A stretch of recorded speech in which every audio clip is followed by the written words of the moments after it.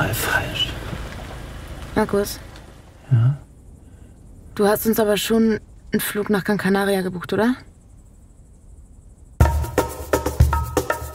Mann! Wir sind auf La Palma, nicht Las Palmas. Du kannst nicht mal einen Flug buchen. Ich denke mir was aus, okay? Haben Sie, Senorita? Du bist hier nicht ernsthaft gerade eingestiegen. No, Senorita, was denken Sie von mir? Wem gehört das Haus? Ist mir, Pablo. Hallo, ich bin der Niklas. Servus. Hola, Pablo, encantado. Ist das Pablo? Dann bin ich Alba. Hola.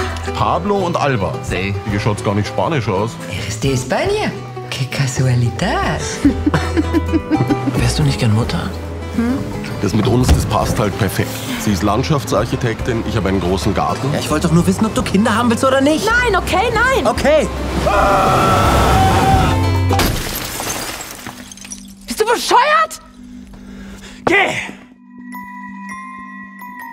Wahrscheinlich wird dein Leben mit mir nicht so, wie du dir es hast vorgestellt. Gewöhn dich besser daran.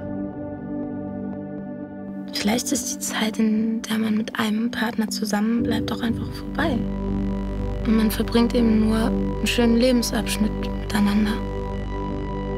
Keine Suche. Kein Stress.